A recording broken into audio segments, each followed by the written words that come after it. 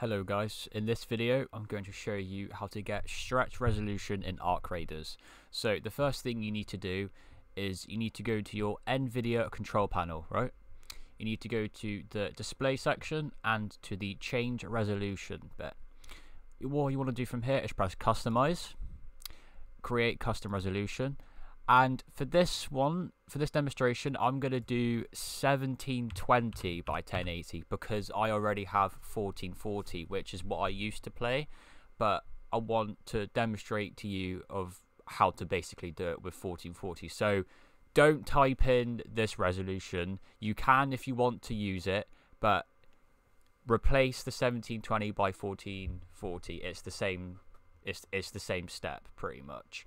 So what you want to do from here is press test, uh, press yes, and your desktop audio will still the same, and you'll have completely new custom resolutions. So it's, ba it's basically done. So uh, make sure Arc Raiders is not um, open. You need to actually quit the game for it to work. So just um, quit the game and uh, restart the game. So with the settings, um, you want to change your your resolution mode. So once this once this loads, I will show you. So let me just skip this intro. So my resolution currently is borderless full screen, right? I I changed it when I started to record the video so I could show you. What you need to do is you need to go to exclusive full screen with not recommended, alright? You want to change this to the resolution. So here you go that's the one I did. I did 1720 by 1080. So we're going to apply this. And as you can see, it it has worked. Like this.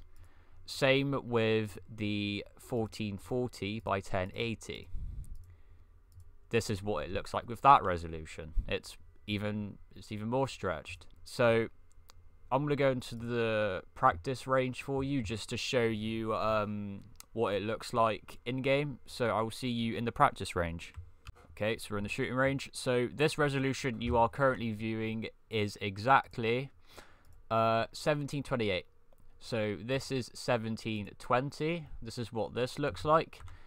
Very, very similar to my resolution. Um, 1440 looks like this. It's it's even it's even more stretched than the last one. So you can see um, how much of a difference it makes. So yeah, that is the tutorial for this video. So hope you guys enjoyed this video. Make sure to like and subscribe. Have a good one, guys. I'll see you in the next one. Peace.